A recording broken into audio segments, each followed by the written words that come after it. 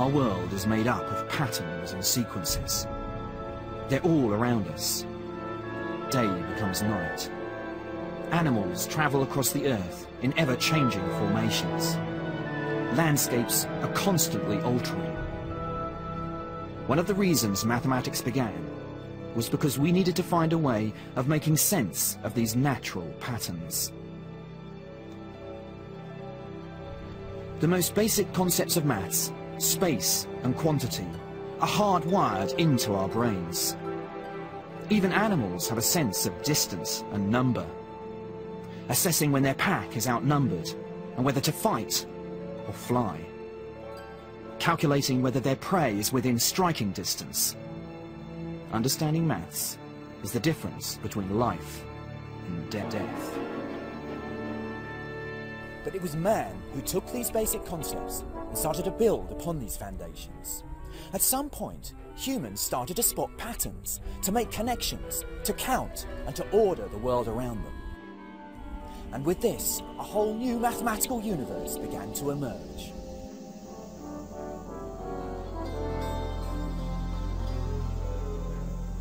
This is the River Nile. It's been the lifeline of Egypt for millennia.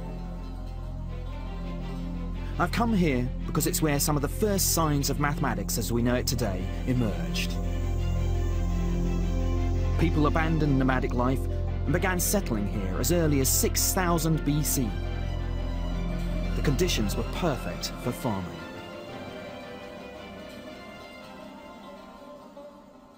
The most important event for Egyptian agriculture each year was the flooding of the Nile. So this was used as a marker to start each new year. Egyptians did record what was going on over periods of time. So in order to establish a calendar like this, you need to count how many days, for example, um, happened in between lunar phases. Um, or how many days happened in between two um, floodings of the Nile. Recording the patterns of the seasons was essential not only to their management of the land, but also their religion. The ancient Egyptians who settled on the Nile banks believed it was the river god Hapi who flooded the river each year. And in return for the life-giving water, the citizens offered a portion of the yield as a thanksgiving. As settlements grew larger, it became necessary to find ways to administer them. Areas of land needed to be calculated, crop yields predicted, taxes charged and collated. In short, people needed to count and measure. The Egyptians used their bodies to measure the world, and it's how their units of measurement evolved. A palm was the width of a hand, a cubit an arm length from elbow to fingertips. Land cubits, strips of land measuring a cubit by a hundred, were used by the pharaoh's surveyors to calculate areas.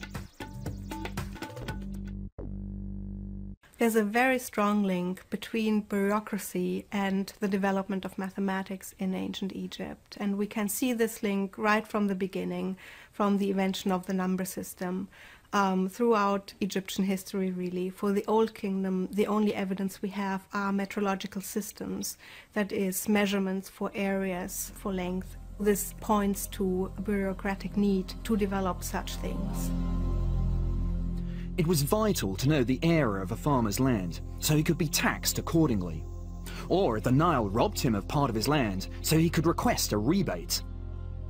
It meant that the pharaoh's surveyors were often calculating the area of irregular parcels of land. And it was the need to solve such practical problems that made them the earliest mathematical innovators.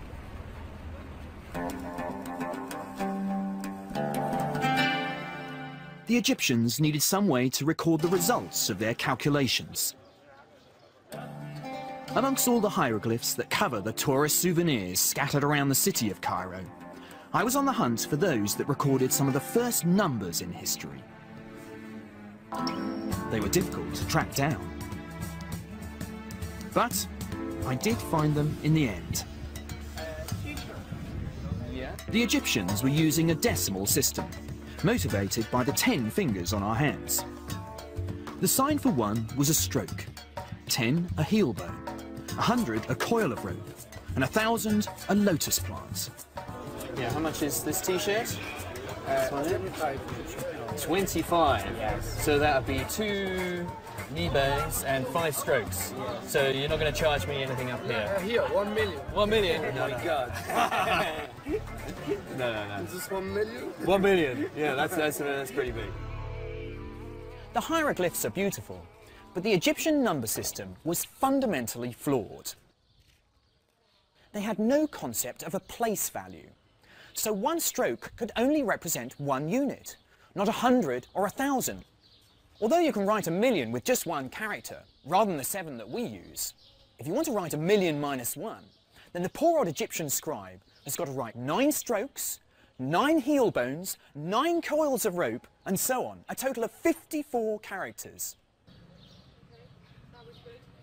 Despite the drawback of this number system, the Egyptians were brilliant problem solvers. We know this because of the few records that have survived.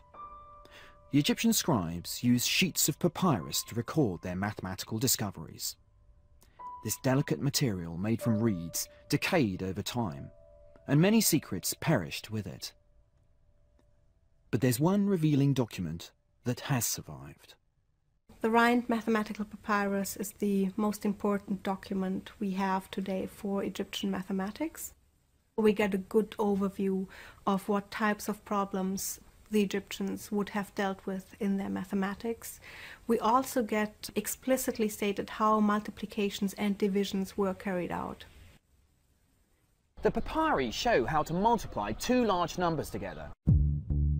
But to illustrate the method, let's take two smaller numbers. Let's do 3 times 6. The scribe would take the first number 3 and put it in one column. In the second column, he would place the number 1. Then he would double the numbers in each column. So 3 becomes 6, and 6 would become 12.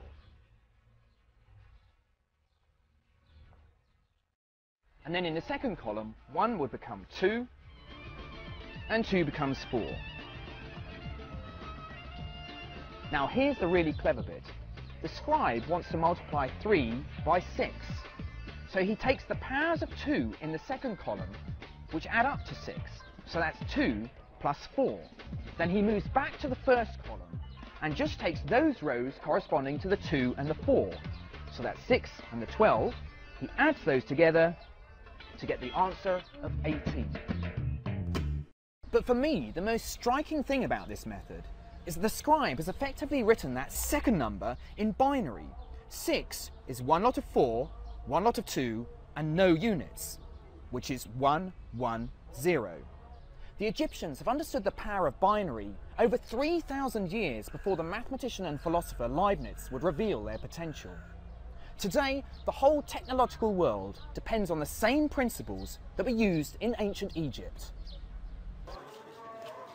The Rhind Papyrus was recorded by a scribe called Ahmes around 1650 BC, and its problems are concerned with finding solutions to everyday situations. Several of the problems mention bread and beer, which isn't surprising as Egyptian workers were paid in food and drink. One is concerned with how to divide nine loaves equally between ten people without a fight breaking out. I've got nine loaves of bread here. I'm going to take five of them and cut them into halves. Of course, nine people could shave a tenth off their loaf and give the pile of crumbs to the tenth person. But the Egyptians developed a far more elegant solution. Take the next four and divide those into thirds. But two of the thirds I'm now going to cut into fifths, so each piece will be one fifteenth. Each person then gets one half, and one third, and one fifteenth.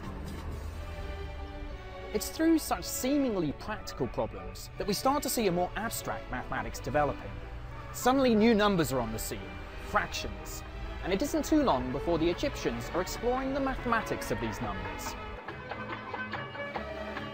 Fractions are clearly of practical importance to anyone dividing quantities for trade in the market. To log these transactions, the Egyptians developed notation which recorded these new numbers. One of the earliest representations of these fractions came from a hieroglyph which had great mystical significance. It's called the Eye of Horus. Horus was an Old Kingdom god, depicted as half man, half falcon. According to legend, Horus's father was killed by his other son, Seth. Horus was determined to avenge the murder. During one particularly fierce battle, Seth ripped out Horus's eye, tore it up, and scattered it over Egypt. But the gods were looking favourably on Horus. They gathered up the scattered pieces and reassembled the eye. Each part of the eye represented a different fraction, each one half the fraction before. Although the original eye represented a whole unit, the reassembled eye is 1 64th short. Although the Egyptians stopped at 1 over 64, implicit in this picture is the possibility of adding more fractions, halving them each time, the sum getting closer and closer to 1, but never quite reaching it. This is the first hint of something called a geometric series, and it appears at a number of points in the Rhind Papyrus. But the concept of infinite series would remain hidden until the mathematicians of Asia discovered it centuries later. Having worked out a system of numbers, including these new fractions, it was time for the Egyptians to apply their knowledge to understanding shapes that they encountered day to day. These shapes were rarely regular squares or rectangles, and in the Rhind Papyrus we find the area of a more organic form, the circle. What is astounding um, in the calculation of the area of a circle is its exactness, really. How they would have found their method is open to speculation because the texts we have do not show us the methods how they were found. This calculation is particularly striking because it depends on seeing how the shape of the circle can be approximated by shapes that the Egyptians already understood.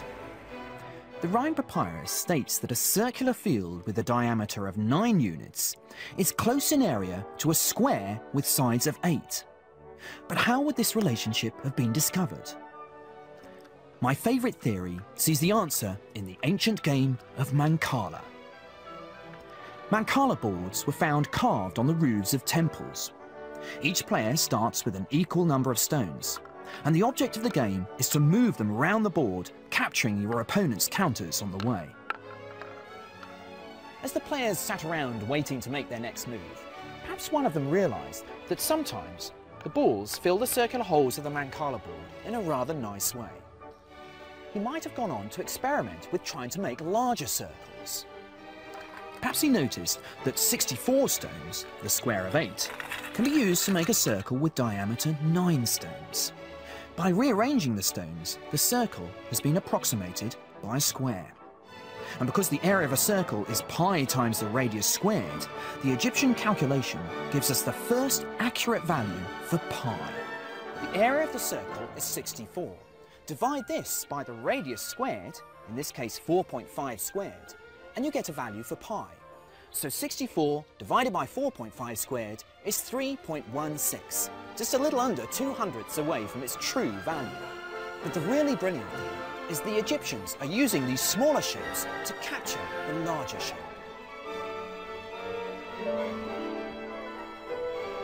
But there's one imposing and majestic symbol of Egyptian mathematics we haven't attempted to unravel yet. The pyramid. I've seen so many pictures that I couldn't believe I'd be impressed by them.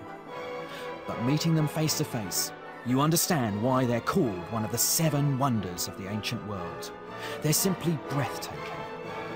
And how much more impressive they must have been in their day, when the sides were as smooth as glass, reflecting the desert sun.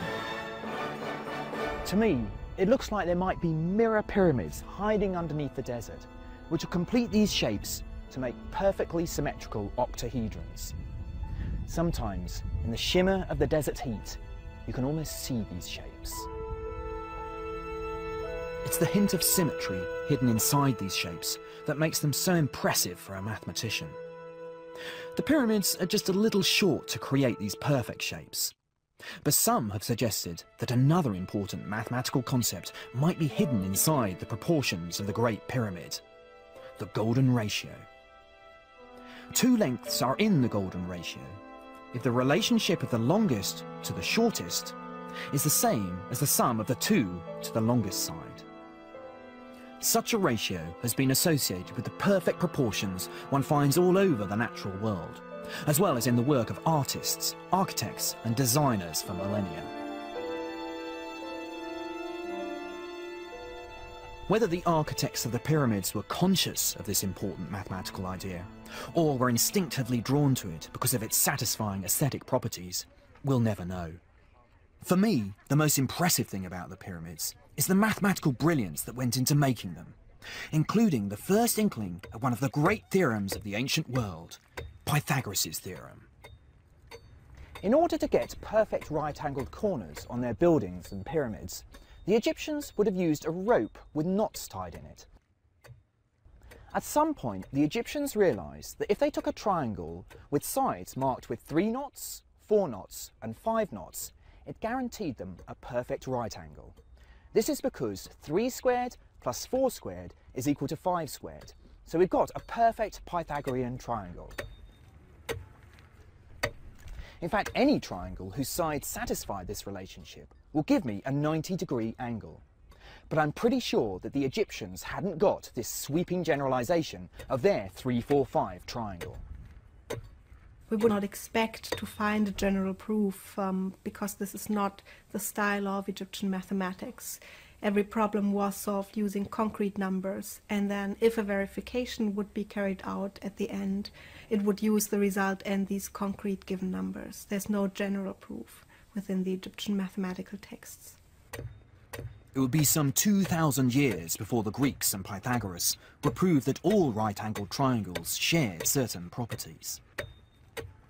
This wasn't the only mathematical idea that the Egyptians would anticipate. In a 4,000-year-old document called the Moscow Papyrus, we find a formula for the volume of a pyramid with its peak sliced off, which shows the first hint of calculus at work. For a culture like Egypt, that is famous for its pyramids, you would expect um, problems like this to have been a regular feature within their mathematical texts. The calculation of the volume of a truncated pyramid is one of the most advanced bits, um, according to our modern standards of mathematics, that we have from ancient Egypt. The architects and engineers would certainly have wanted such a formula to calculate the amount of materials required to build it. But it's a mark of the sophistication of Egyptian mathematics that they were able to produce such a beautiful method.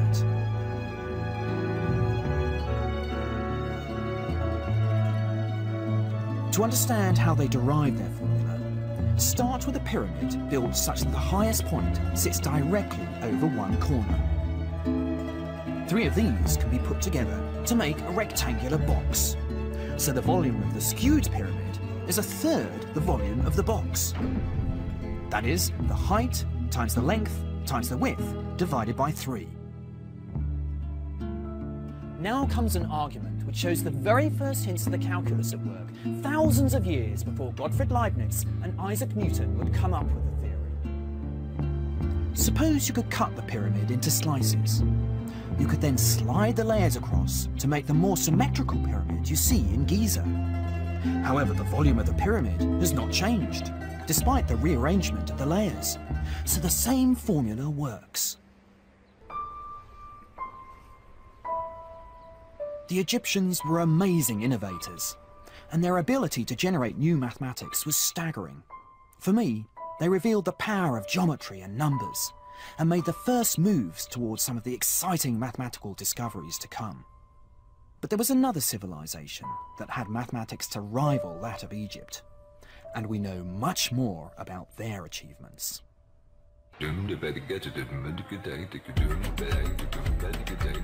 This is Damascus, over 5,000 years old and still vibrant and bustling today. It used to be the most important point on the trade routes linking old Mesopotamia with Egypt. The Babylonians controlled much of modern-day Iraq, Iran and Syria from 1800 BC. In order to expand and run their empire, they became masters of managing and manipulating numbers. We have law codes, for instance, that tell us about the way society is ordered. Now, the people we know most about are the scribes, the professionally literate and numerate people who kept the records for the wealthy families and for the temples and palaces. Scribe schools existed from around 2500 BC. Aspiring scribes were sent there as children and learned how to read, write, and work with numbers. Scribe records were kept on clay tablets, which allowed the Babylonians to manage and advance their empire. However, many of the tablets we have today aren't official documents, but children's exercises. It's these unlikely relics that give us a rare insight into how the Babylonians approached mathematics. So this is a geometrical textbook from about the 18th century BC. And I hope you can see that there are lots of pictures on it. And underneath each picture is a text that sets a problem about the picture. So, for instance, this one here says, I drew a square 60 units long, and inside it I drew four circles. What are their areas? So this little tablet here was written a thousand years at least later than the tablet here, but it has a very interesting relationship to it. It also has four circles on in a square, roughly drawn, but this isn't a textbook, it's a school exercise, so that the adult scribe who's teaching the student is being given this as an example of, of completed homework or something like that. Like the Egyptians, the Babylonians appeared interested in solving practical problems to do with measuring and weighing. The Babylonian solutions to these problems are written like mathematical recipes. A scribe would simply follow and record a set of instructions to get a result. Here's an example of a kind of problem they'd solve. Now I've got a bundle of cinnamon sticks here, but I'm not going to weigh them. Instead, I'm going to take four times their weight and add them to the scales. Now I'm going to add 20 gin. Gin was the ancient Babylonian measure of weight. I'm going to take half of everything here and add it again. So that's two bundles and 10 gin. Now everything on this side is equal to one mana. One mana was 60 gin. And here we have one of the first mathematical equations in history. Everything on this side is equal to one mana. But how much does the bundle of cinnamon sticks weigh? Without any algebraic language, they were able to manipulate the quantities to be able to prove that the cinnamon sticks weighed 5 gin. In my mind, it's this kind of problem which gives mathematics a bit of a bad name. You can blame those ancient Babylonians for all those tortuous problems you had at school. But the ancient Babylonian scribes excelled at this kind of problem. Intriguingly, they weren't using powers of 10 like the Egyptians. They were using powers of 60. The Babylonians invented their number system, like the Egyptians, by using their fingers. But instead of counting through the 10 fingers on their hand, Babylonians found a much more intriguing way to count body parts. They used the 12 knuckles on one hand and the five fingers on the other to be able to count 12 times 5, i.e. 60 different numbers. So for example, this number would have been two lots of 12, 24, and then 1, 2, 3, 4, 5 to make 29. But the number 60 had another powerful property. It can be perfectly divided in a multitude of ways. Here are 60 beans. I can arrange them in two rows of 30. Three rows of 20. Four rows of 15. Five rows of 12. Or six rows of 10. The divisibility of 60 makes it a perfect base in which to do arithmetic. The base 60 system was so successful, we still use elements of it today. Every time we want to tell the time, we recognize units of 60, 60 seconds in a minute, 60 minutes in an hour. But the most important feature of the Babylonians' number system was that it recognized place value. Just as our decimal numbers count how many lots of tens, hundreds, and thousands you're recording, the position of each Babylonian number records the power of 60 you're counting.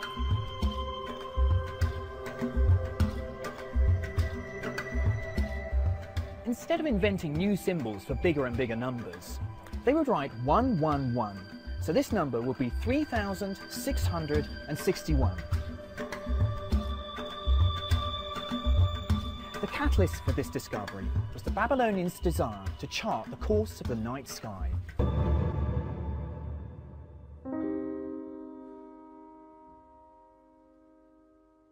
The Babylonians' calendar was based on the cycles of the moon, and so they needed a way of recording astronomically large numbers. Month by month, year by year, these cycles were recorded.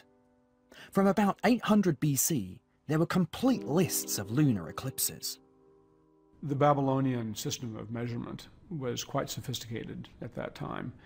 They had a system of angular measurement, 360 degrees in a full circle. Each degree was divided into 60 minutes.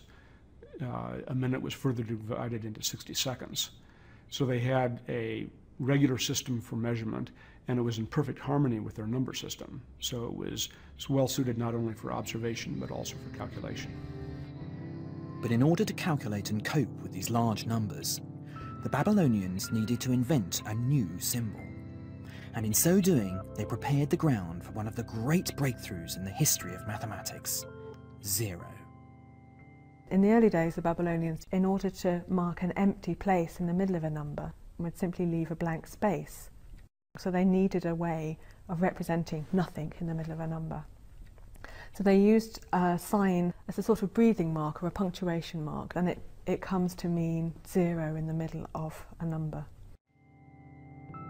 This was the first time zero in any form had appeared in the mathematical universe.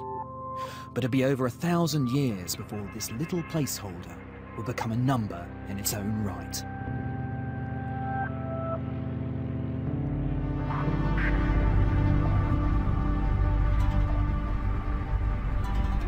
Having established such a sophisticated system of numbers, they harnessed it to tame the arid and inhospitable land that ran through Mesopotamia. Babylonian engineers and surveyors found ingenious ways of accessing water and channeling it to the crop fields. Yet again, they used mathematics to come up with solutions. The Orontes Valley in Syria is still an agricultural hub, and the old methods of irrigation are being exploited today just as they were thousands of years ago. Many of the problems in Babylonian mathematics are concerned with measuring land and it's here we see for the first time the use of quadratic equations, one of the greatest legacies of Babylonian mathematics. Quadratic equations involve things where the unknown quantity you're trying to identify is multiplied by itself. We call this squaring because it gives the area of a square. And it's in the context of calculating the area of land that these quadratic equations naturally arise.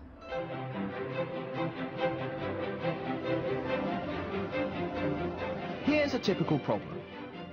If a field has an area of 55 units, and one side is 6 units longer than the other, how long is the shorter side?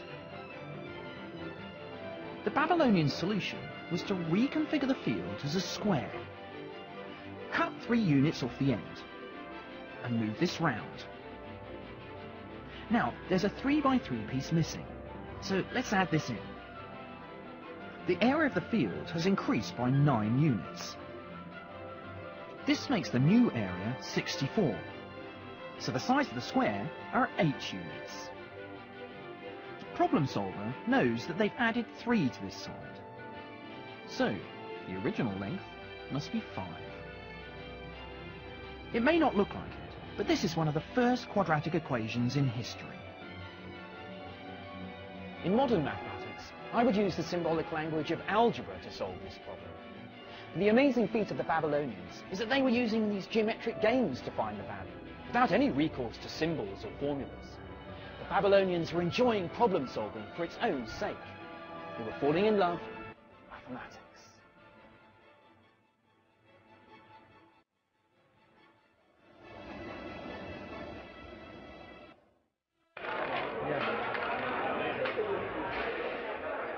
The Babylonians' fascination with numbers soon found a place in their leisure time too. They were avid game players, The Babylonians and their descendants have been playing a version of backgammon for over 5,000 years. So the Babylonians played board games from very posh board games in royal tombs to little bits of board games found in schools to board games scratched um, on the entrances of palaces so that the guardsmen must have played at times when they were bored. And they used dice to move their counters round. People who played games were using numbers in their leisure time to try and outwit their opponent, doing mental arithmetic very fast. And so they were calculating in their leisure time without even thinking about it as being mathematical hard work. Now's my chance. I hadn't played backgammon for ages, but I reckon my maths would be good enough to give me a fighting chance. So six, and I need to move something. So I- But it wasn't as easy as I thought. yeah, yeah. This is. One, this is two. Now you're in trouble. So I can't move anything, can I? I, I can't move these anyway. You cannot move these. You're gonna I just gotta- all oh, gosh. Exactly. there you go. You seem to be. Uh, Three and four. So Just like the ancient Babylonians, my opponents were masters of tactical mathematics. yeah. Put it there. here you All go. good game.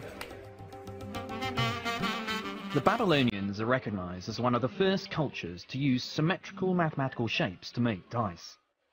But there is more heated debate about whether they might also have been the first to discover the secrets of another important shape, the right-angled triangle. We've already seen how the Egyptians used a 3-4-5 right-angled triangle. But what the Babylonians knew about this shape, and others like it, is much more sophisticated.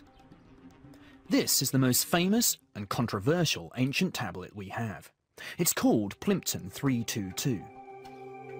Many mathematicians are convinced it shows the Babylonians could well have known the principle regarding right-angled triangles, that the square on the diagonal is the sum of the squares on the sides, and known it centuries before the Greeks claimed it. This is a copy of the arguably most famous Babylonian tablet, which is Plimpton 322. And these numbers here reflect the width or height of a triangle, uh, this being the diagonal. The uh, other side would be over here, and uh, the square of this uh, column uh, plus the square of the number in this column uh, equals the square of the diagonal. They are arranged in an order of uh, steadily decreasing angle on a very uniform basis, showing that somebody had a lot of understanding of how the numbers fit together.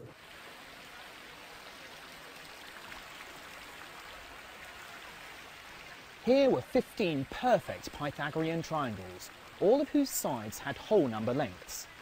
It's tempting to think that the Babylonians were the first custodians of Pythagoras' theorem, and it's a conclusion that generations of historians have been seduced by.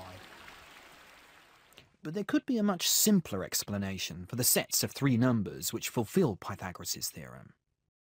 It's not a systematic explanation of Pythagorean triples. It's simply a mathematics teacher doing some quite complicated calculations, but in order to produce some very simple numbers in order to set his students problems about right angled triangles. And in that sense, it's about Pythagorean triples only incidentally. The most valuable clues to what they understood could lie elsewhere. This small school exercise tablet is nearly 4,000 years old and reveals just what the Babylonians did know about right-angled triangles. It uses the principle of Pythagoras' theorem to find the value of an astounding new number. drawn along the diagonal is a really very good approximation to the square root of 2. And so that shows us that it was known and used in school environments. Now, why is this important? It's because the square root of 2 is what we now call an irrational number. That is, if we write it out in decimals or even in sexagesimal places, there it doesn't doesn't end. The numbers go on forever after the decimal point. The implications of this calculation are far reaching. Firstly, it means the Babylonians knew something of Pythagoras' theorem a thousand years before Pythagoras. Secondly, the fact that they can calculate this number to an accuracy of four decimal places shows an amazing arithmetic facility, as well as a passion for mathematical detail. The Babylonians' mathematical dexterity was astounding, and for nearly 2,000 years they spearheaded intellectual progress in the ancient world. But when their imperial power began to wane, so did their intellectual vigour.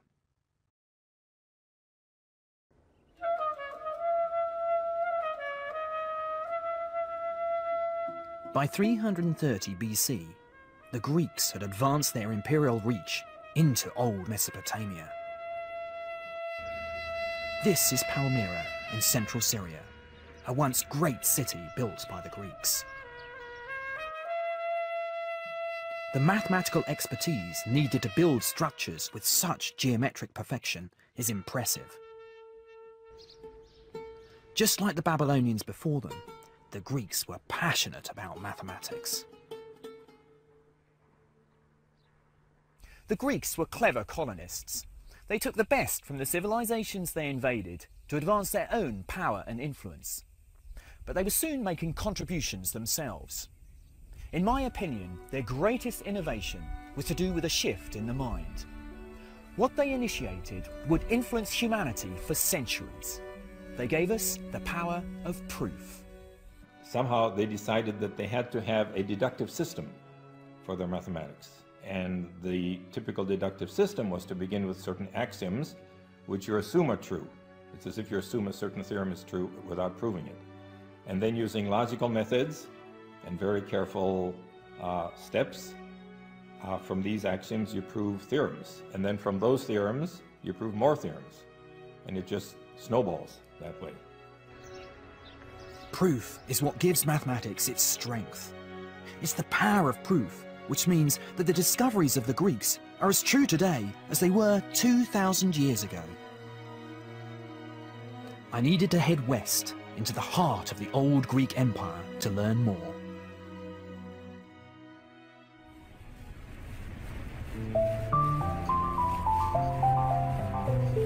For me, Greek mathematics has always been heroic and romantic.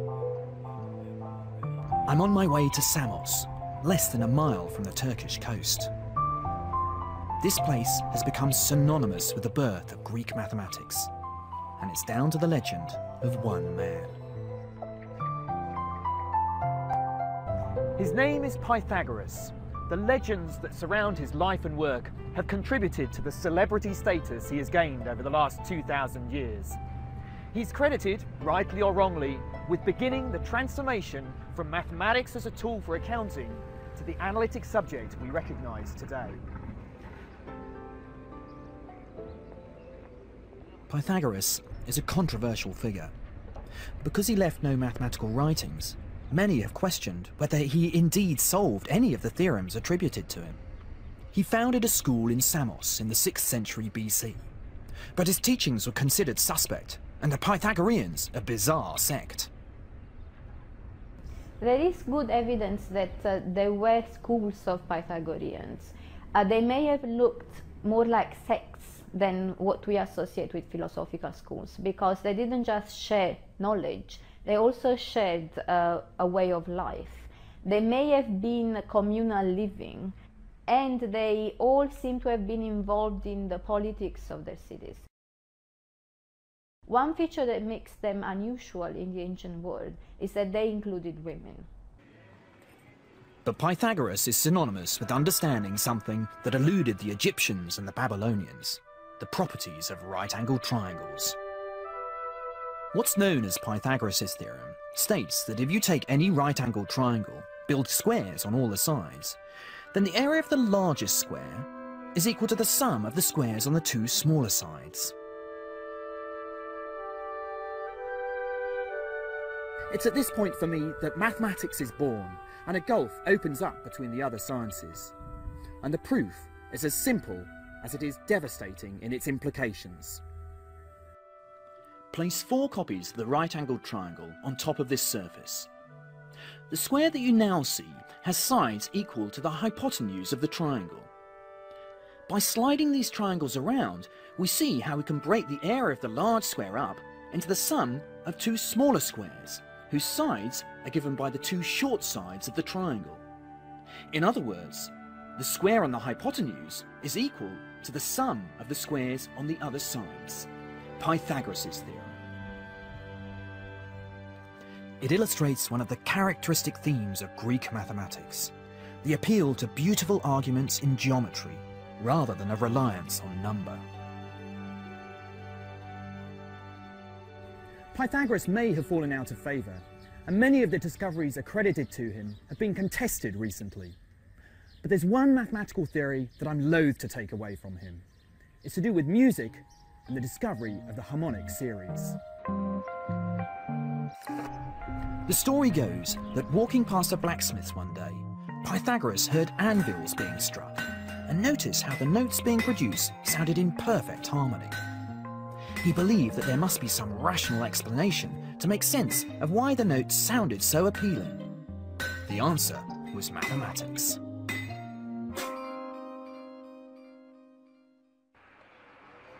Experimenting with a stringed instrument, Pythagoras discovered that the intervals between harmonious musical notes were always represented as whole number ratios. And here's how he might have constructed his theory. First, play a note on the open string. Next, take half the length. The note almost sounds the same as the first note. In fact, it's an octave higher, but the relationship is so strong we give these notes the same name. Now, take a third the length. We get another note which sounds harmonious next to the first two. But take a length of string which is not in a whole number ratio, and all we get is dissonance.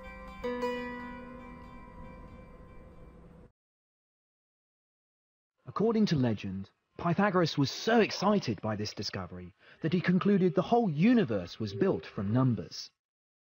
But he and his followers were in for a rather unsettling challenge to their worldview. And it came about as a result of the theorem which bears Pythagoras' name. Legend has it, one of his followers, a mathematician called Hippasus, set out to find the length of the diagonal for a right-angled triangle with two sides measuring one unit.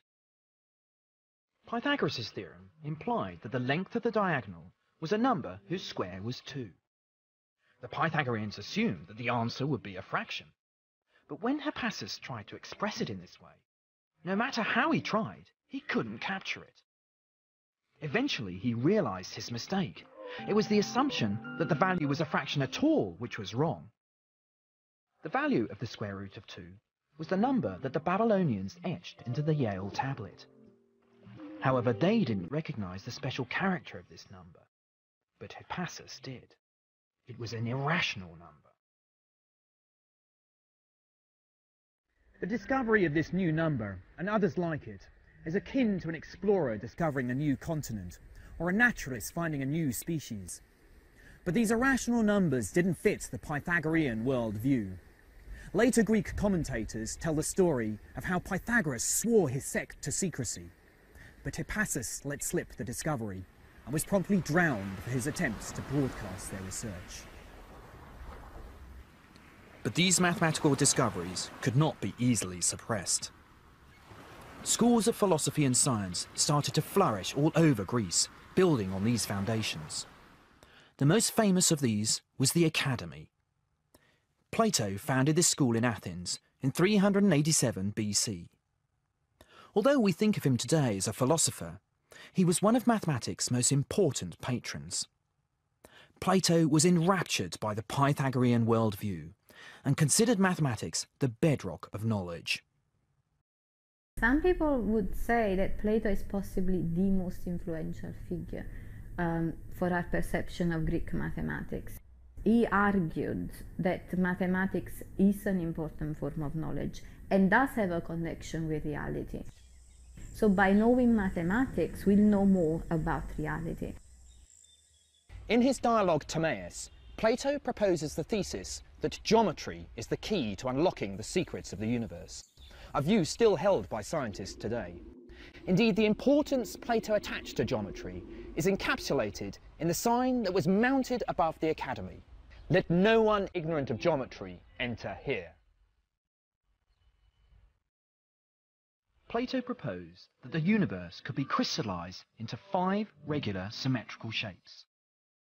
These shapes, which we now call the Platonic solids, were composed of regular polygons assembled to create three-dimensional symmetrical objects. The tetrahedron represented fire. The icosahedron, made from 20 triangles, represented water. The stable cube was earth. The eight-faced octahedron was air. And the fifth Platonic solid, the dodecahedron, made out of 12 pentagons, was reserved for the shape which captured Plato's view of the universe. Plato's theory would have a size and continue to inspire mathematicians and astronomers for over 1500 years. In addition to the breakthroughs made in the Academy, mathematical triumphs were also emerging from the edge of the Greek Empire, and owed as much to the mathematical heritage of the Egyptians as the Greeks. Alexandria became a hub of academic excellence under the rule of the Ptolemies in the 3rd century BC and its famous library soon gained a reputation to rival Plato's academy. The kings of Alexandria were prepared to invest in the arts, in culture, in technology, mathematics, grammar, because patronage for uh, cultural pursuits was one way of showing that uh, you were a more prestigious ruler and had a better entitlement to greatness. The old library and its precious contents were destroyed when the Muslims conquered Egypt in the 7th century. But its spirit is alive in a new building. Today, the library remains a place of discovery and scholarship.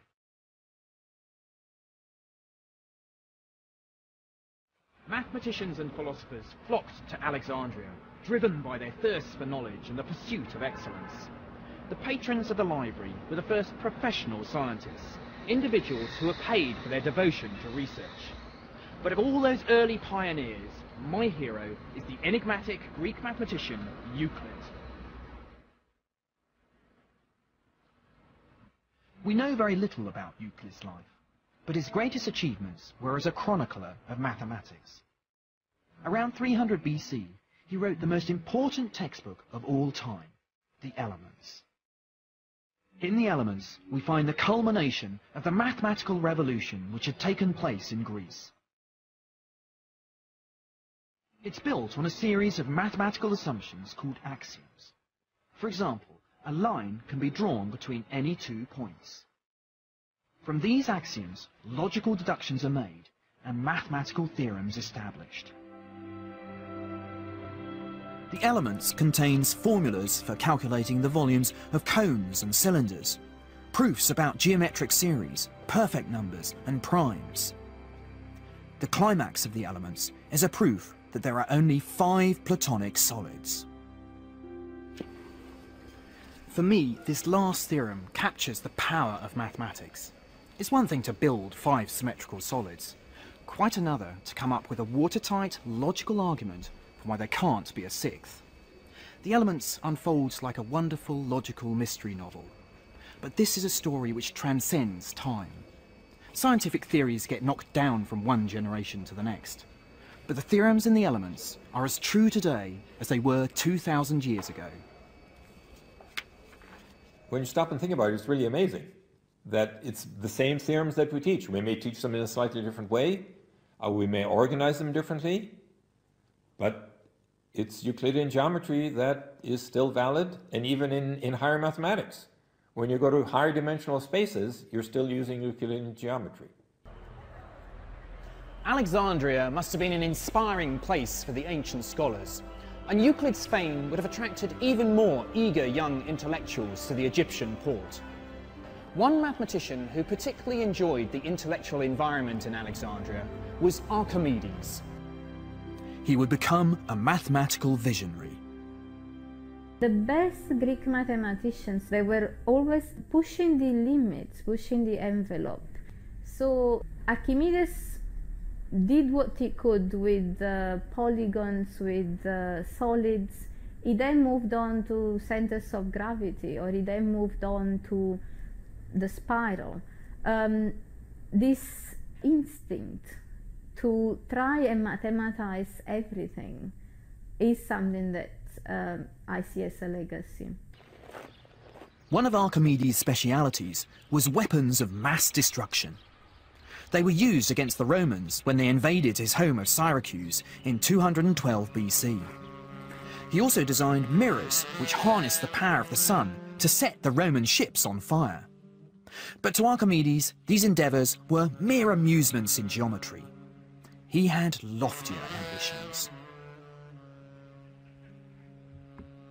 Archimedes was enraptured by pure mathematics and believed in studying mathematics for its own sake, and not for the ignoble trade of engineering or the sordid quest for profit. One of his finest investigations into pure mathematics was to produce formulas to calculate the areas of regular shapes. Archimedes' method was to capture new shapes by using shapes he already understood. So for example, to calculate the area of a circle, he would enclose it inside a triangle. And then by doubling the number of sides on the triangle, the enclosing shape would get closer and closer to the circle. Indeed, we sometimes call a circle a polygon with an infinite number of sides. But by estimating the area of the circle, Archimedes is in fact getting a value for pi, the most important number in mathematics. However, it was calculating the volumes of solid objects where Archimedes excelled. He found a way to calculate the volume of a sphere by slicing it up and approximating each slice as a cylinder. He then added up the volumes of the slices to get an approximate value for the sphere. But his act of genius was to see what happens if you make the slices thinner and thinner. In the limit, the approximation becomes an exact calculation.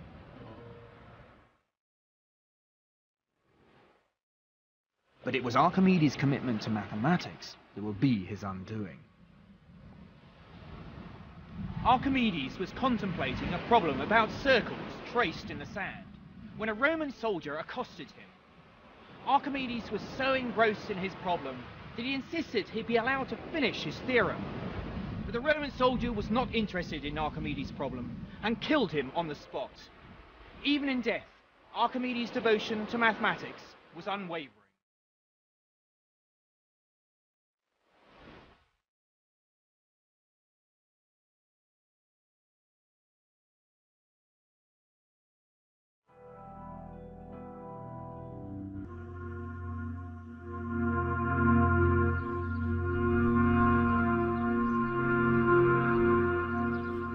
By the middle of the first century BC, the Romans had tightened their grip on the old Greek Empire. They were less smitten with the beauty of mathematics and were more concerned with its practical applications. This pragmatic attitude signalled the beginning of the end for the great library of Alexandria. But one mathematician was determined to keep the legacy of the Greeks alive. Hypatia was exceptional, a female mathematician, and a pagan in the piously Christian Roman Empire. Hypatia was very prestigious and very influential in her time. She was uh, um, a teacher with a lot of uh, students, a lot of followers.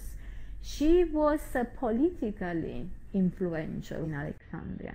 So it's this combination of uh, uh, high knowledge and high prestige that may have made her um, a figure of hatred for uh, um, the Christian mob.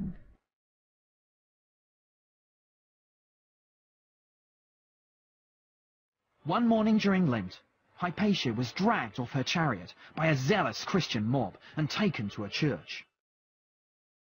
There she was tortured and brutally murdered. The dramatic circumstances of her life and death fascinated later generations.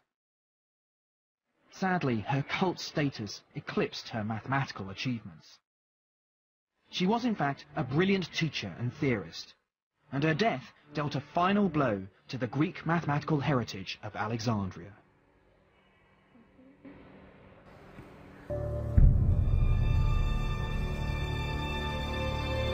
My travels have taken me on a fascinating journey to uncover the passion and innovation of the world's earliest mathematicians. It's the breakthroughs made by those early pioneers of Egypt, Babylon and Greece that are the foundations on which my subject is built today. But this is just the beginning of my mathematical odyssey. The next leg of my journey lies east in the depths of Asia, where mathematicians scaled even greater heights in pursuit of knowledge. With this new era came a new language of algebra and numbers, better suited to telling the next chapter in the story of maths. You can learn more about the story of maths with the Open University at open2.net. You can learn more about the story of maths with the Open University at open2.net. What we call a decimal place value system and it's very similar to the one we use today. We too use numbers from 1 to 9, and we use their position to indicate whether it's units, tens, hundreds or thousands. But the power of these rods is that it makes calculations very quick. In fact, the way the ancient Chinese did their calculations is very similar to the way we learn today in school.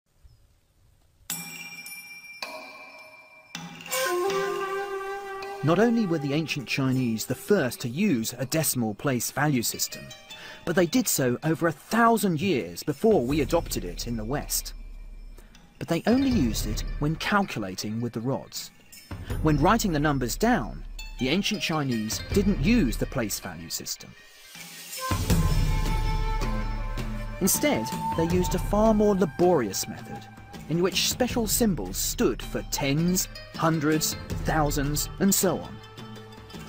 So the number 924 will be written out as nine hundreds, two tens, and four. Not quite so efficient. You see, the problem was that the ancient Chinese didn't have a concept of zero. They didn't have a symbol for zero. It just didn't exist as a number. Using the counting rods, they would use a blank space, where today we would write a zero. The problem came with trying to write down this number, which is why they had to create these new symbols for tens, hundreds and thousands. Without a zero, the written number was extremely limited. But the absence of zero didn't stop the ancient Chinese from making giant mathematical steps.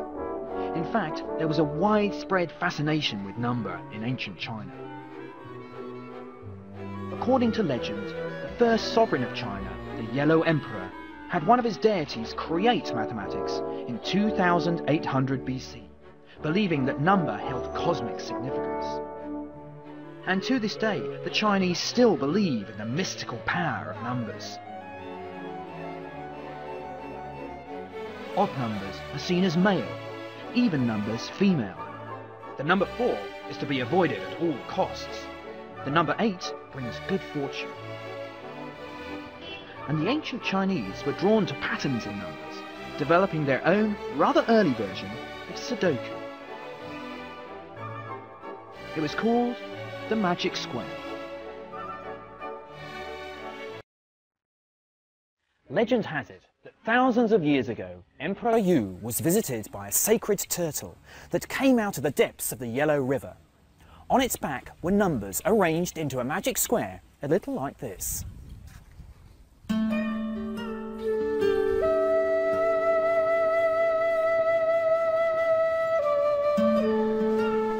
In this square, which was regarded as having great religious significance, all the numbers in each line, horizontal, vertical, and diagonal all add up to the same number, 15. Now the magic square may be no more than a fun puzzle, but it shows the ancient Chinese fascination with mathematical patterns.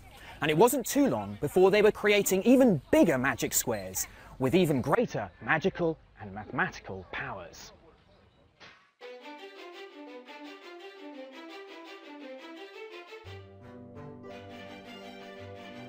But mathematics also played a vital role in the running of the emperor's court. the calendar and the movement of the planets were of the utmost importance to the emperor, influencing all his decisions, even down to the way his day was planned. So astronomers became prize members of the imperial court. And astronomers were always mathematicians.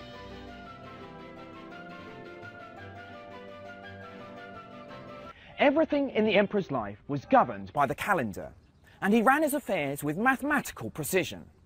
The emperor even got his mathematical advisors to come up with a system to help him sleep his way through the vast number of women he had in his harem. Never one to miss a trick, the mathematical advisors decided to base the harem on a mathematical idea called a geometric progression. Maths has never had such a fun purpose.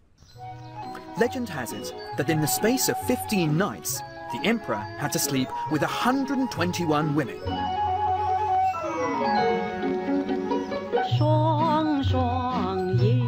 The empress. Three senior consorts. Nine wives. 27 concubines. And 81 slaves.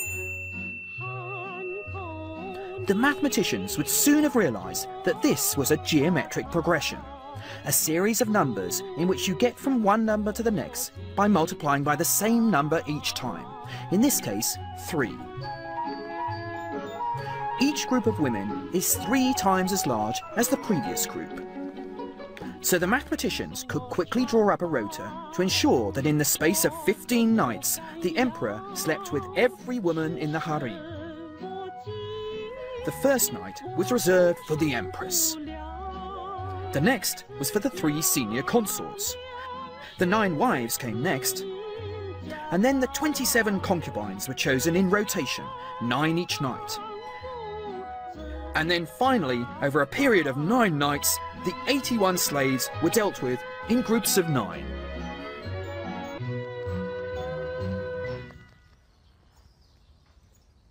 Being the emperor certainly required stamina, a bit like being a mathematician. But the object is clear, to procure the best possible imperial succession. The rota ensured that the emperor slept with the ladies of highest rank closest to the full moon, when their yin, their female force, would be at its highest and be able to match his yang, or male force.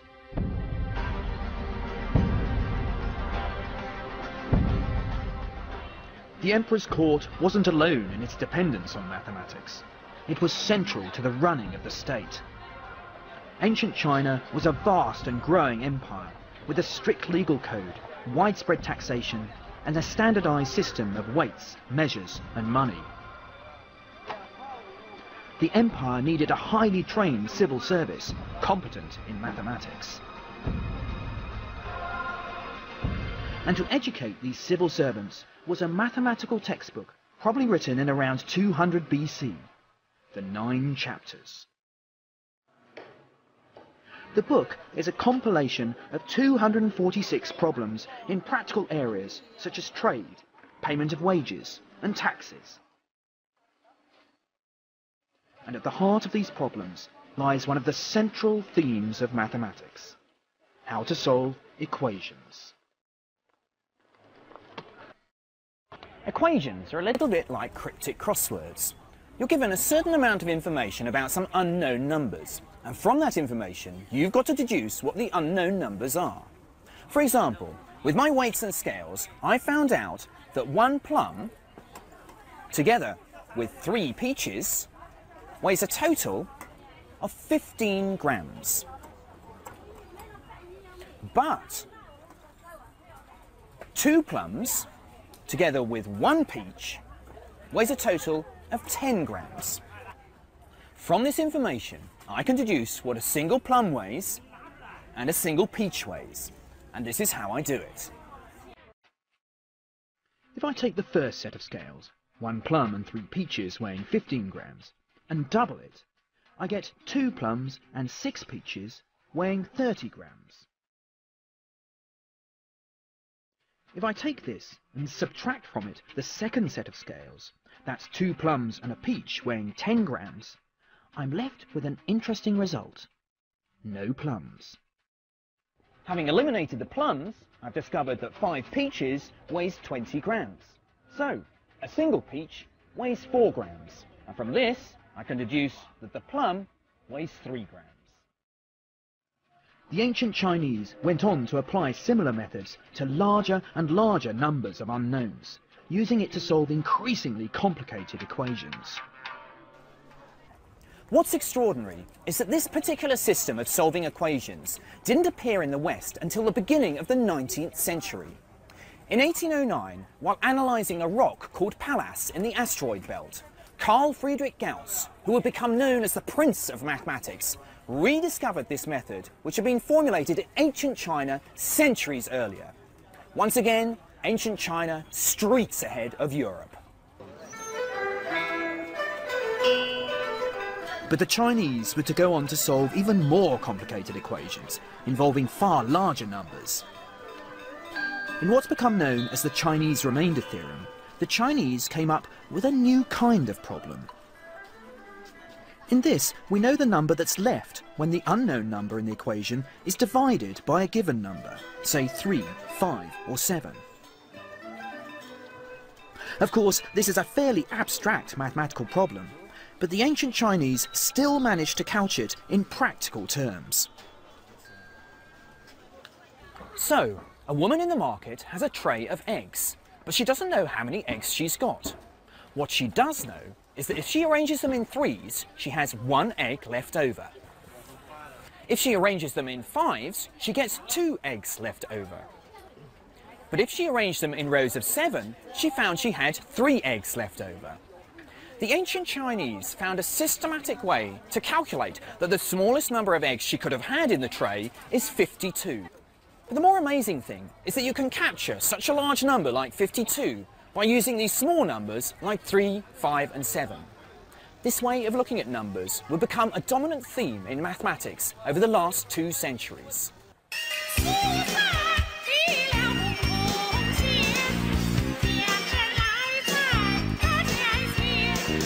By the 6th century AD, the Chinese remainder theorem was being used in ancient Chinese astronomy to measure planetary movement. But today it still has practical uses. Internet cryptography encodes numbers using mathematics that has its origins in the Chinese remainder theorem.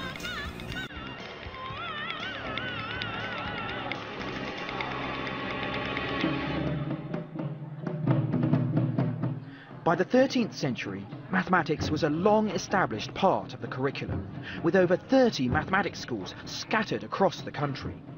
The golden age of Chinese maths had arrived. And its most important mathematician was called Qin Jiushao. Legend has it that Qin Jiushao was something of a scoundrel. He was a fantastically corrupt imperial administrator who crisscrossed China lurching from one post to another. Repeatedly sacked for embezzling government money, he poisoned anyone who got in his way. Qin Shao was reputedly described as as violent as a tiger or a wolf, and as poisonous as a scorpion or a viper. So, not surprisingly, he made a fierce warrior. For ten years he fought against the invading Mongols, but for much of that time, he was complaining that his military life took him away from his true passion. No, not corruption, but mathematics.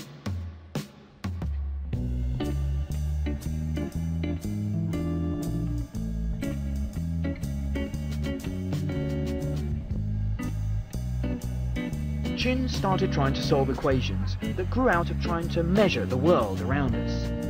Quadratic equations involve numbers that are squared or to the power of 2, say 5 times 5. The ancient Mesopotamians had already realized that these equations were perfect for measuring flat, two-dimensional shapes, like Tiananmen Square. But Qin was interested in more complicated equations, cubic equations. These involve numbers which are cubed, or to the power of 3, say 5 times 5 times 5. And they were perfect for capturing three-dimensional shapes, like Chairman Mao's mausoleum.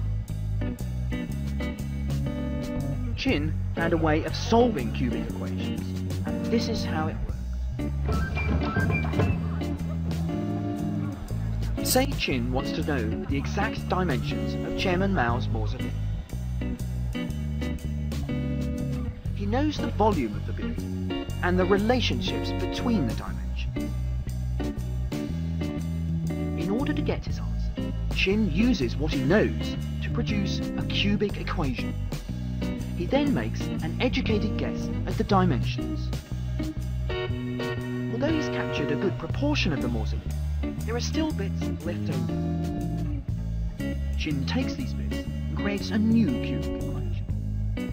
He can now refine his first guess by trying to find a solution to this new cubic equation, and so on. Each time he does this, the pieces he's left with get smaller and smaller, and his guesses get better and better.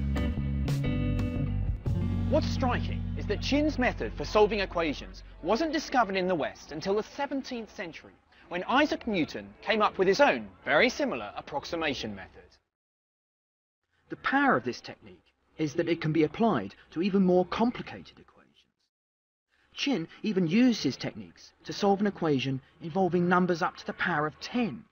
This was extraordinary stuff, highly complex mathematics. Now Qin may have been years ahead of his time, but there was a problem with his technique. It only gave him an approximate solution. Now that might be good enough for an engineer, but not for a mathematician. Mathematics is an exact science. We like things to be precise. And Qin just couldn't come up with a formula to give him an exact solution to these complicated equations.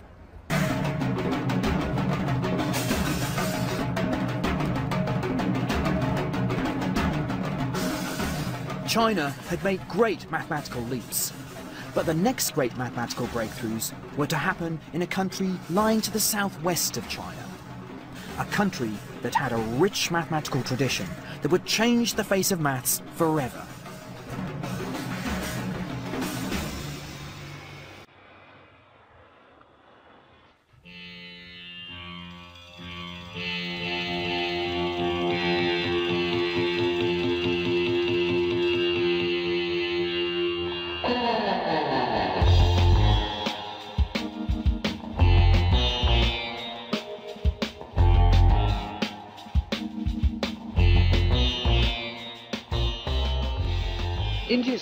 Great mathematical gift lay in the world of number.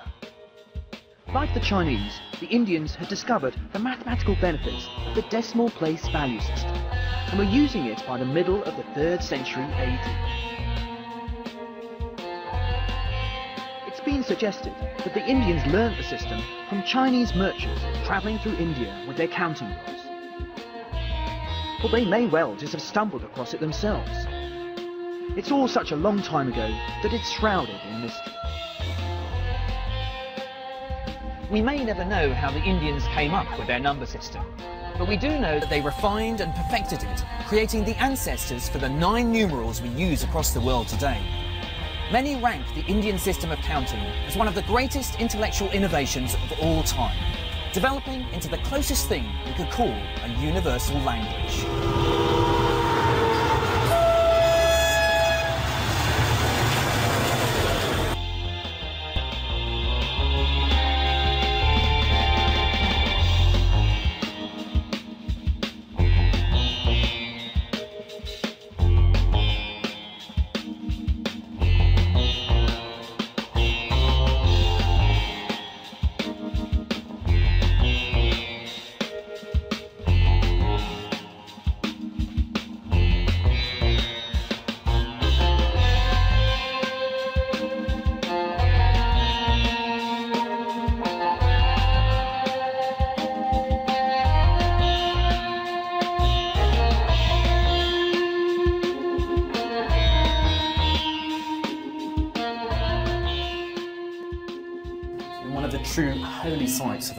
Mathematical world. And what I'm looking for is in this inscription written on the wall. Up here are some numbers, and here's the new number. It's zero.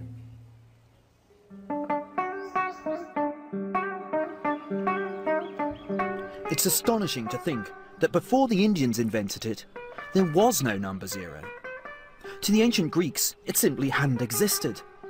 To the Egyptians, Mesopotamians, and as we've seen, the Chinese, zero had been in use, but as a placeholder, an empty space to show a zero inside a number.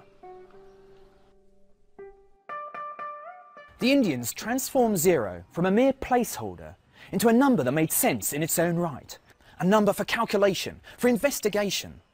This brilliant conceptual leap would revolutionise mathematics. Now, with just 10 digits, 0 to 9, it was suddenly possible to capture astronomically large numbers in an incredibly efficient way. But why did the Indians make this imaginative leap? Well, we'll never know for sure, but it's possible that the idea and symbol that the Indians used for zero came from calculations they did with stones in the sand. When stones were removed from the calculation, a small round hole was left in its place, representing the movement from something to nothing. But perhaps there's also a cultural reason for the invention of zero.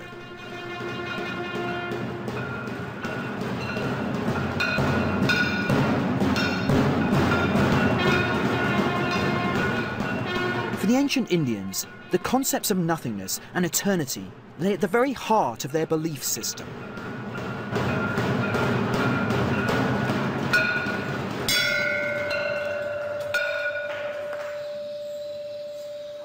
In the religions of India, the universe was born out of nothingness, and nothingness is the ultimate goal of humanity.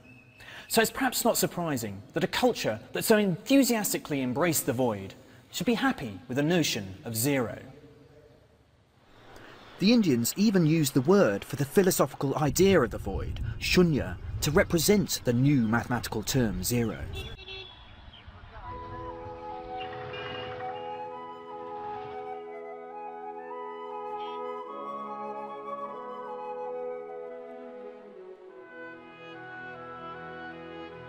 In the 7th century, the brilliant Indian mathematician Brahmagupta proved some of the essential properties of zero.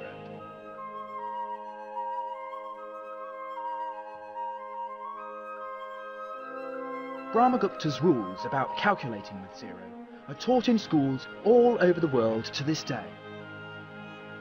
1 plus 0 equals 1. 1 minus 0 equals 1. 1 times 0 is equal to 0.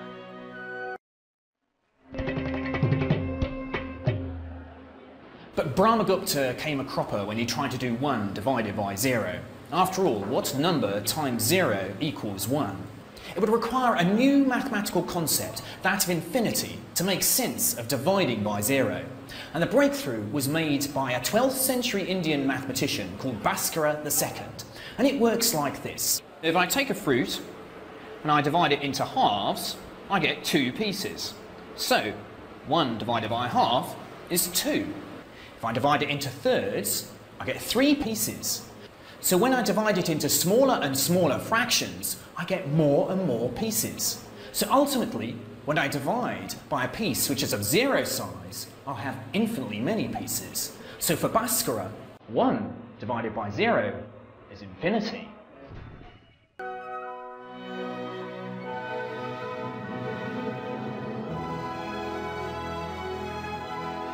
But the Indians were to go further in their calculations with zero. For example, if you take 3 from 3 and get 0, what happens when you take 4 from 3? It looks like you have nothing. But the Indians recognised that this was a new sort of number, negative numbers. The Indians called them debts because they were perfect for solving equations like, if I have three batches of material and take four away, how many have I left? This may seem odd and impractical, but that was the beauty of Indian mathematics. Their ability to come up with negative numbers and zero was because they thought of numbers as abstract entities. They weren't just for counting and measuring pieces of cloth. They had a life of their own, floating free of the real world. This led to an explosion of mathematical ideas.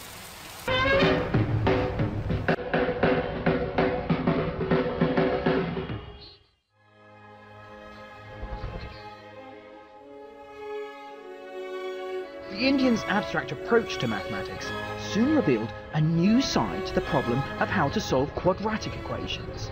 That is, equations including numbers to the power of 2. Brahmagupta's understanding of negative numbers allowed him to see that quadratic equations always have two solutions, one of which could be negative. Brahmagupta went even further, solving quadratic equations with two unknowns, a question which wouldn't be considered in the West until 1657, when the French mathematician Fermat challenged his colleagues with the same problem. Little did he know that they'd been beaten to a solution by Brahmagupta a thousand years earlier. Brahmagupta was beginning to find abstract ways of solving equations. But astonishingly, he was also developing a new mathematical language to express that abstraction. Brahmagupta was experimenting with ways of writing his equations down using the initials of the names of different colours to represent unknowns in his equations. A new mathematical language was coming to life, which would ultimately lead to the X's and Y's which fill today's mathematical journals.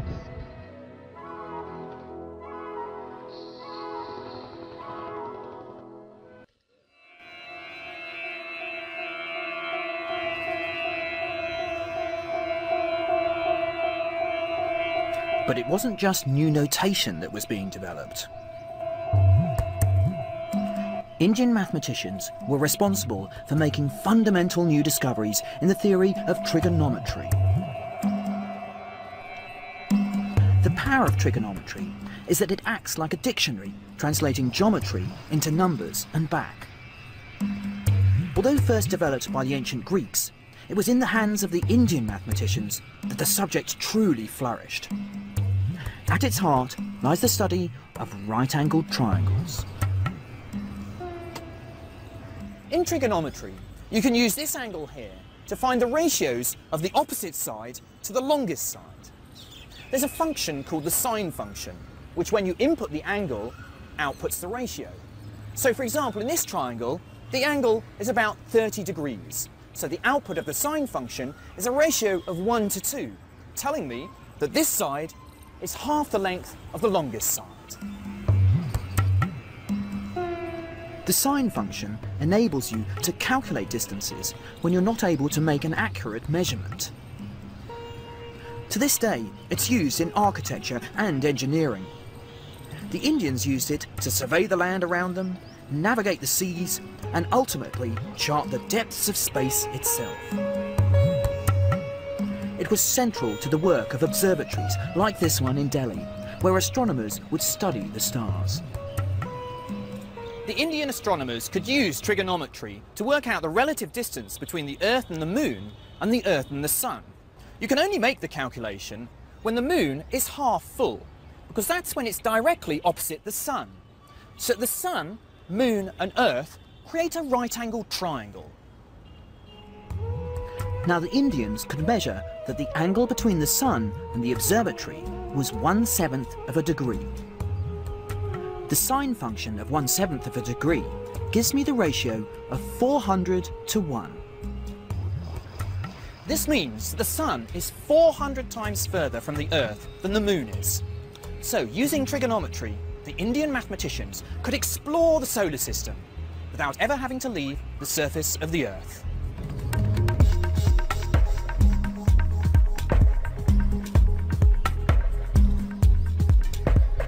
The ancient Greeks had been the first to explore the sine function, listing precise values for some angles. But they couldn't calculate the sines of every angle. The Indians were to go much further, setting themselves a mammoth task. The search was on to find a way to calculate the sine function of any angle you might be given.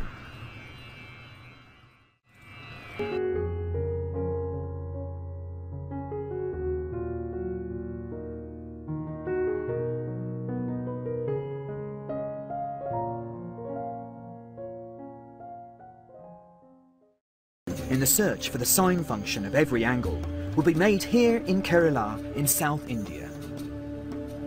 In the 15th century, this part of the country became home to one of the most brilliant schools of mathematicians to have ever worked. Their leader was called Madhava, and he was to make some extraordinary mathematical discoveries. The key to Madhava's success was the concept of the infinite.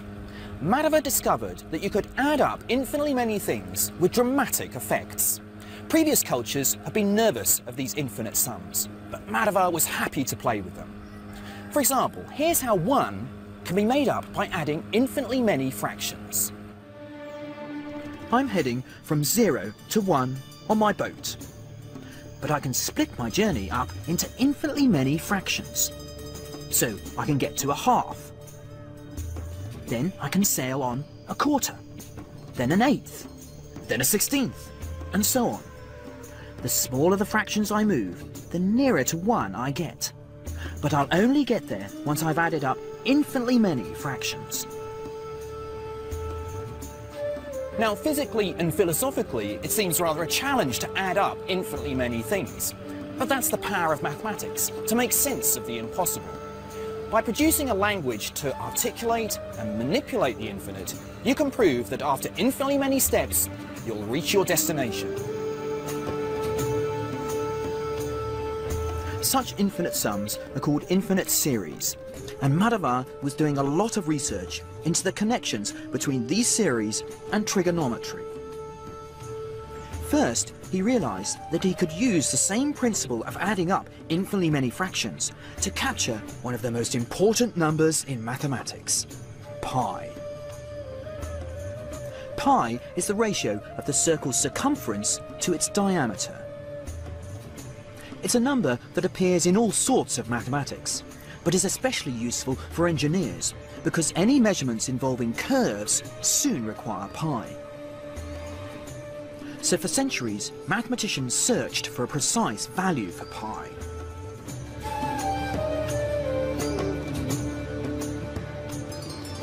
It was in 6th century India that the mathematician Aryabhata gave a very accurate approximation for pi, namely 3.1416. He went on to use this to make a measurement of the circumference of the Earth, and he got it as 24,835 miles, which amazingly is only 70 miles away from its true value. But it was in Kerala in the 15th century that Madhava realised he could use infinity to get an exact formula for pi. By successively adding and subtracting different fractions, Madhava could hone in on an exact formula for pi. First, he moved four steps up the number line. That took him way past pi. So next, he took four thirds of a step, or one and one third steps, back. Now he'd come too far the other way. So he headed forward four fifths of a step. Each time he alternated between 4 divided by the next odd number. 4 sevenths, 4 ninths, 4 elevenths, and so on. He zigzagged up and down the number line, getting closer and closer to pi. He discovered that if you went through all the odd numbers, infinitely many of them, you would hit pi exactly.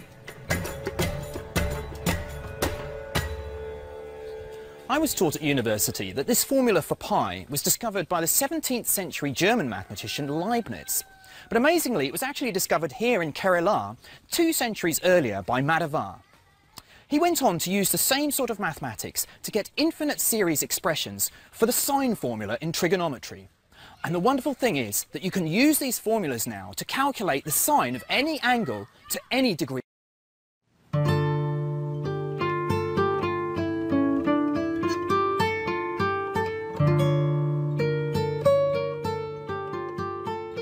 Seems incredible that the Indians made these discoveries centuries before Western mathematicians. And it says a lot about our attitude in the West to non-Western cultures, that we nearly always claim their discoveries as our own. What is clear is the West has been very slow to give due credit to the major breakthroughs made in non-Western mathematics. Madhava wasn't the only mathematician to suffer this way. As the West came into contact more and more with the East during the 18th and 19th centuries, there was a widespread dismissal and denigration of the cultures they were colonising. The natives, it was assumed, couldn't have anything of intellectual worth to offer the West.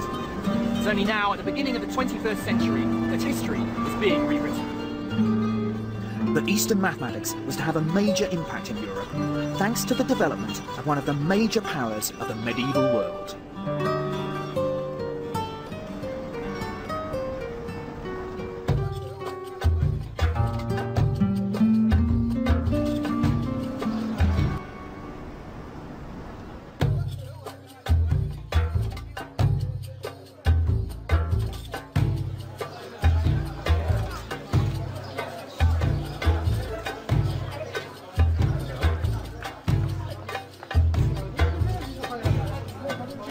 7th century, a new empire began to spread across the Middle East.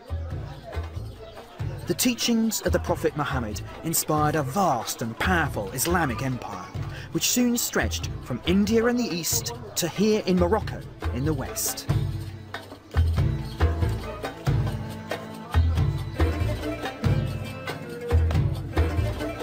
And at the heart of this empire lay a vibrant intellectual culture.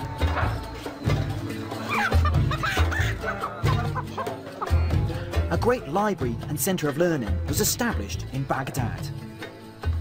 Called the House of Wisdom, its teachings spread throughout the Islamic Empire, reaching schools like this one here in Fez. Subjects studied included astronomy, medicine, chemistry, zoology, and mathematics.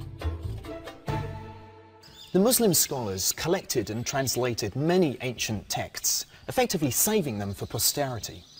In fact, without their intervention, we may never have known about the ancient cultures of Egypt, Babylon, Greece, and India. But the scholars at the House of Wisdom weren't content simply with translating other people's mathematics. They wanted to create a mathematics of their own, to push the subject forward.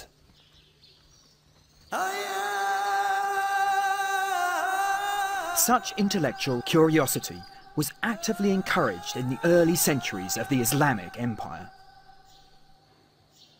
The Quran asserted the importance of knowledge. Learning was nothing less than a requirement of God. In fact, the needs of Islam demanded mathematical skill. The devout needed to calculate the time of prayer and the direction of Mecca to pray towards. And the prohibition of depicting the human form meant that they had to use much more geometric patterns to cover their buildings. In fact, the Muslim artist discovered all the different sorts of symmetry that you can depict on a two-dimensional wall.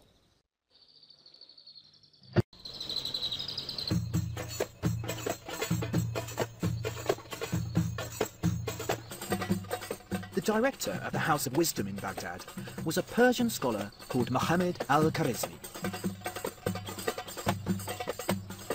Al-Khwarizmi was an exceptional mathematician who was responsible for introducing two key mathematical concepts to the West. Al-Khwarizmi recognized the incredible potential that the Hindu numerals had to revolutionize mathematics and science. His work explaining the power of these numbers to speed up calculations and do things effectively was so influential that it wasn't long before they were adopted as the numbers of choice amongst the mathematicians of the Islamic world. In fact, these numbers have now become known as the Hindu Arabic numerals. These numbers, 1 to 9 and 0, are the ones we use today all over the world.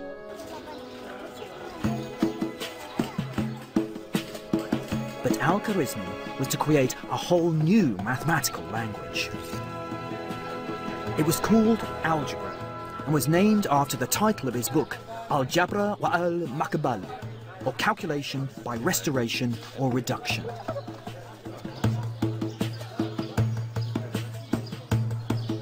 Algebra is the grammar that underlies the way that numbers work. It's a language that explains the patterns that lie behind the behaviour of numbers. It's a bit like a code for running a computer program. The code will work whatever the numbers you feed into the program. For example, Mathematicians might have discovered that if you take a number and square it, that's always one more than if you take the numbers either side and multiply those together. For example, 5 times 5 is 25, which is one more than 4 times 6, 24. 6 times 6 is always one more than 5 times 7, and so on.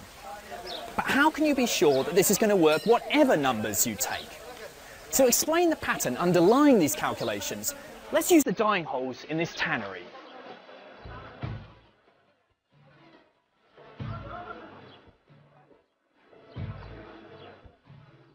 If we take a square of 25 holes running 5 by 5 and take one row of 5 away and add it to the bottom, we get 6 by 4 with one left over. But however many holes there are on the side of the square, we can always move one row of holes down in a similar way to be left with a rectangle of holes with one left over. Algebra was a huge breakthrough.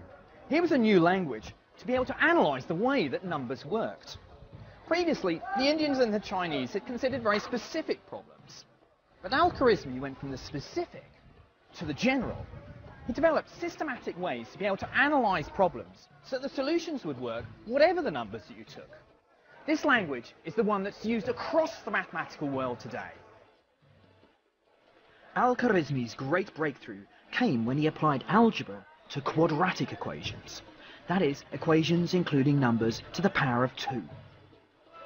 The ancient Mesopotamians had devised a cunning method to solve particular quadratic equations but it was Al-Khwarizmi's abstract language of algebra that could finally express why this method always worked.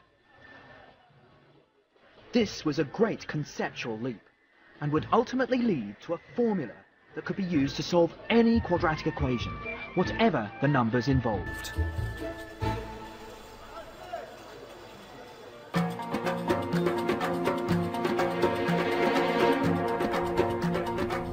The next mathematical holy grail was to find a general method that could solve all cubic equations, equations including numbers to the power of 3.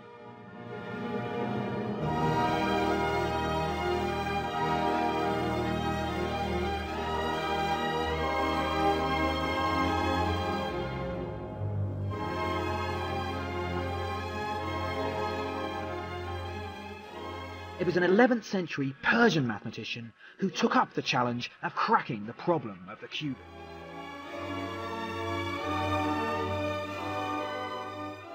His name was Omar Khayyam, and he travelled widely across the Middle East, calculating as he went. But he was famous for another, very different reason. Khayyam was a celebrated poet author of the great epic poem The Rubaiyat. Now it may seem a bit odd that a poet was also a master mathematician. After all, the combination doesn't immediately spring to mind. But in fact, there's quite a lot of similarity between the two disciplines. Poetry, with its rhyming structure and rhythmic patterns, resonates quite strongly with constructing a logical mathematical proof. Oh, Khayyam's major mathematical work was devoted to finding the general method to solve all cubic equations. Rather than looking at particular examples, Khayyam carried out a systematic analysis of the problem, true to the algebraic spirit of Al-Khwarizmi. Khayyam's analysis revealed for the first time that there were several different sorts of cubic equation. But what held him back is that he was still very influenced by the geometric heritage of the Greeks. He couldn't separate the algebra from the geometry. In fact, he wouldn't even consider equations in higher degrees because they described geometric objects in more than three dimensions, something he regarded as impossible. Although the geometry allowed him to analyse these cubic equations to some extent, he still couldn't come up with a purely algebraic solution. It would be another 500 years before mathematicians could make the leap and find a general solution to the cubic equation. And that leap would finally be made in the West. In Italy.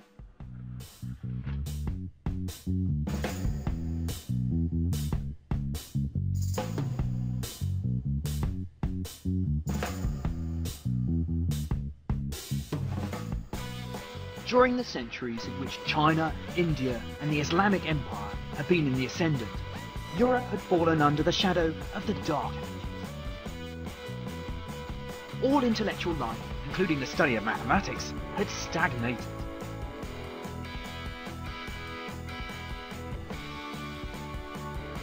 But by the 13th century, things were beginning to change.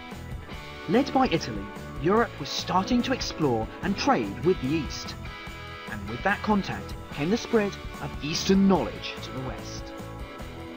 It was the son of a customs official that would become Europe's first great medieval mathematician. As a child, he travelled around North Africa with his father, where he learnt about the developments of Arabic mathematics, and especially the benefits of the Hindu-Arabic numerals.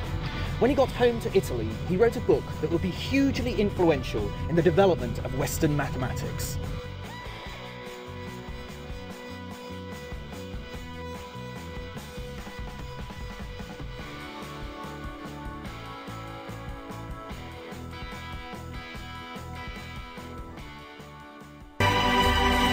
The mathematician was called Leonardo of Pisa, better known as Fibonacci. And in his Book of Calculating, Fibonacci promoted the new number system, demonstrating how simple it was compared to the Roman numerals that were in use across Europe. Calculations were far easier, a fact that had huge consequences for anyone dealing with numbers. Pretty much everyone, from mathematicians to merchants. But there was widespread suspicion of these new numbers.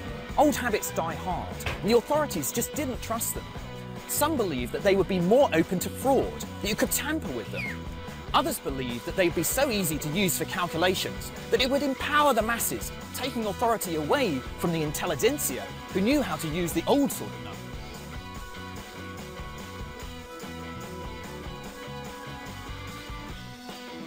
The city of Florence even banned them in 1299. But over time, common sense prevailed. The new system spread throughout Europe, and the old Roman system slowly became defunct. At last, the Hindu-Arabic numerals 0 to 9 had triumphed. Today, Fibonacci is best known for the discovery of some numbers now called the Fibonacci sequence. The numbers arose when he was trying to solve a riddle about the mating habit of rabbits. Suppose a farmer has a pair of rabbits. Now rabbits take two months to reach maturity, and after that they give birth to another pair of rabbits each month. So the problem was how to determine how many pairs of rabbits there will be in any given month. Well, during the first month, you have one pair of rabbits. And since they haven't matured, they can't reproduce. During the second month, there's still only one pair. But at the beginning of the third month, the first pair reproduces for the first time, so there are two pairs of rabbits. At the beginning of the fourth month, the first pair reproduces again, but the second pair is not mature enough, so there are three pairs. In the fifth month, the first pair reproduces, and the second pair reproduces for the first time, but the third pair is still too young, so there are five pairs. The mating ritual continues. But what you soon realize is the number of pairs of rabbits you have in any given month is the sum of the pairs of rabbits you've had in each of the two previous months. So the sequence goes 1, 1, 2, 3, 5, 8, 13, 21, 34, 55, and so on. The Fibonacci numbers are nature's favourite numbers. It's not just rabbits that use them. If you count the number of petals on a flower, it's invariably a Fibonacci number. You find these numbers running up and down pineapples if you count the number of segments. Even snails use them to grow their shells. Wherever you find growth in nature, you find the Fibonacci numbers.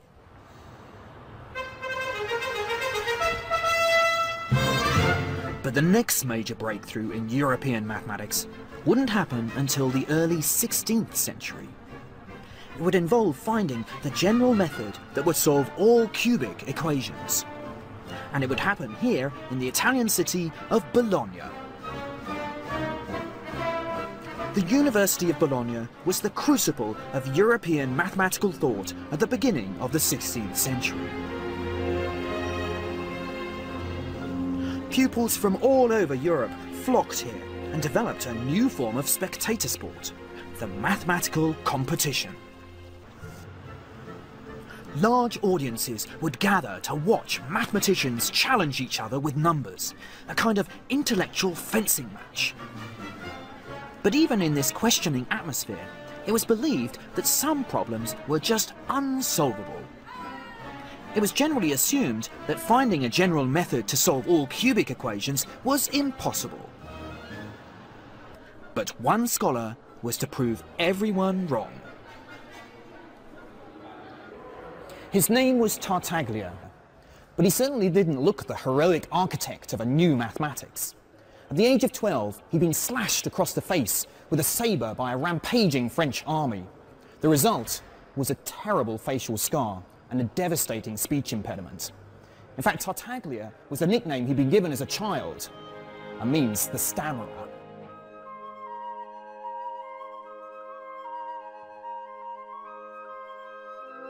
Shunned by his schoolmates, Tartaglia lost himself in mathematics. And it wasn't long before he'd found the formula to solve one type of cubic equation. But Tartaglia soon discovered that he wasn't the only one to believe he'd cracked the cubic. A young Italian called Fior was boasting that he too held the secret formula for solving cubic equations. When news broke about the discoveries made by the two mathematicians, a competition was arranged to pit them against each other. The intellectual fencing match of the century was about to begin.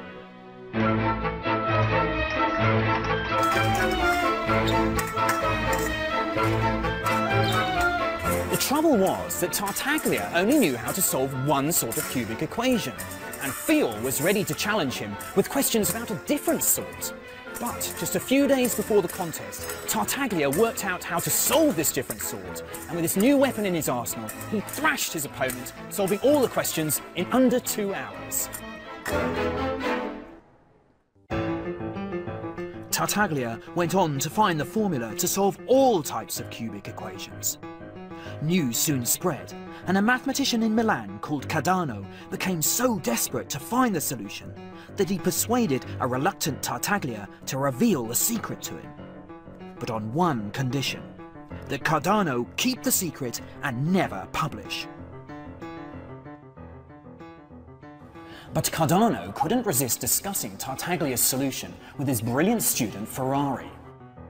As Ferrari got to grips with Tartaglia's work, he realized that he could use it to solve the more complicated quartic equation, an amazing achievement. Cardano couldn't deny his student his just rewards, and he broke his vow of secrecy, publishing Tartaglia's work together with Ferrari's brilliant solution of the quartic. Poor Tartaglia never recovered and died penniless. And to this day, the formula that solves the cubic equation is known as Cardano's formula.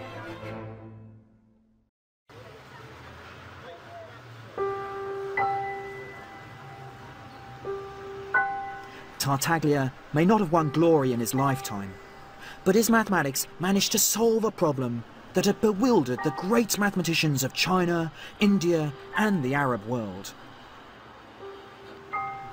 It was the first great mathematical breakthrough to happen in modern Europe. The Europeans now had in their hands the new language of algebra, the powerful techniques of the Hindu-Arabic numerals, and the beginnings of the mastery of the infinite. It was time for the Western world to start writing its own mathematical stories in the language of the East. The mathematical revolution was about to begin. You can learn more about the story of maths with the Open University at open2.net.